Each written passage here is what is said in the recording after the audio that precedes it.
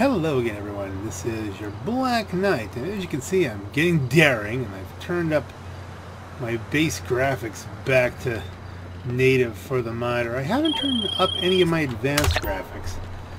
I'm leaving that off for right now. We're just going to see how everything runs. Maybe, maybe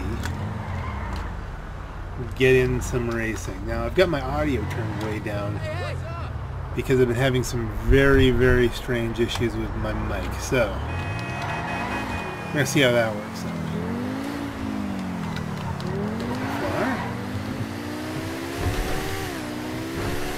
You can drive. But, can we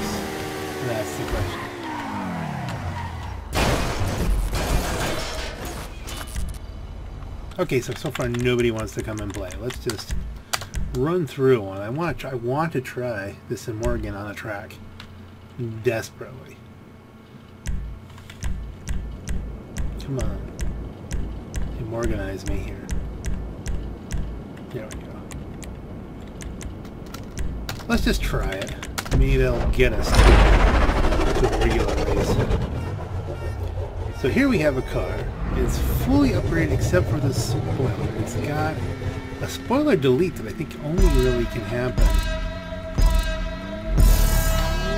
Wow, look at the acceleration of that. And the complete lack of top end.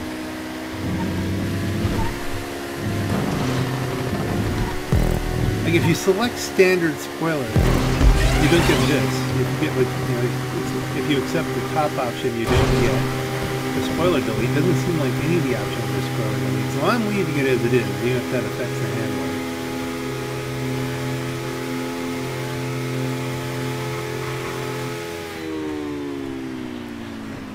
Wow.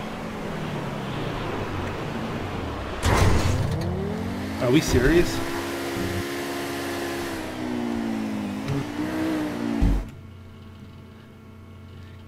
This thing, this thing is ranked pretty highly. I have added the turbo using the iFruit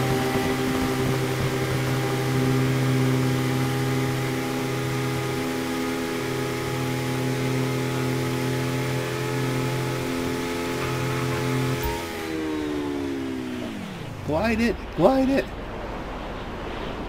Gang, we're in an interesting position here. This car cannot race big drop. For all its acceleration, its top end is so bad it can't make the jumps. I did not expect that. That is a result.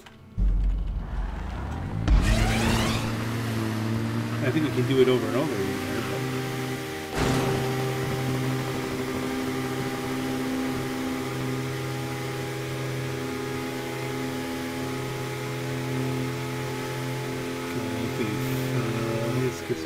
A little bit. Come on.